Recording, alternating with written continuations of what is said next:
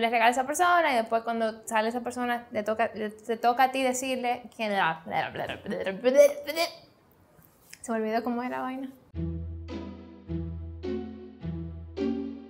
Oh, el angelito es básicamente el intercambio de regalos. Algo que se hace entre amigos, entre personas de trabajo. Eh, usualmente lo arma una gente que le gusta a otra y no lo quiere decir. Es más chulo cuando te cae mal porque tú ni sabes qué regalar. Básicamente, tú tomas un nombre random Lo ponemos todos en una tómbola Y tú coges un papelito al azar. y a esa persona, pues tú le haces un regalo. te toca regalarle algo que tú pienses, que a veces le ponen un límite de precio, lo que sea. que cogen un día para intercambiar los regalos. Y ahí es que sabe quién le tocó a quién.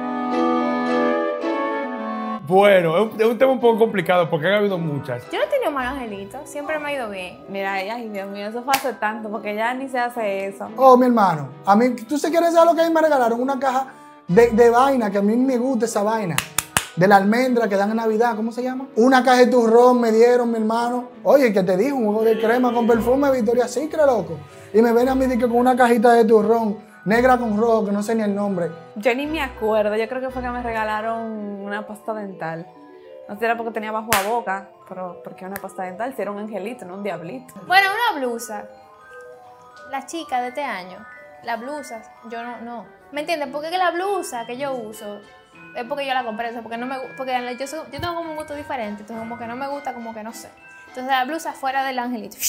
Regálame un chocolate, un coso del gym, lo que tú quieras, pero no blusa. Resulta que ahí me salió la misma persona a la que, a la que yo le regalaba.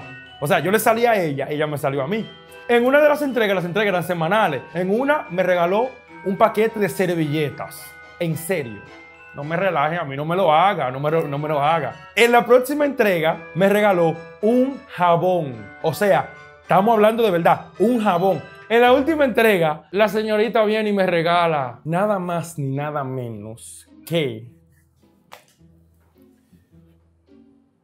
una funda de bubalú de los chiquitos. Una funda de bubalú. O sea, una funda de bubalú criminal. No me lo haga.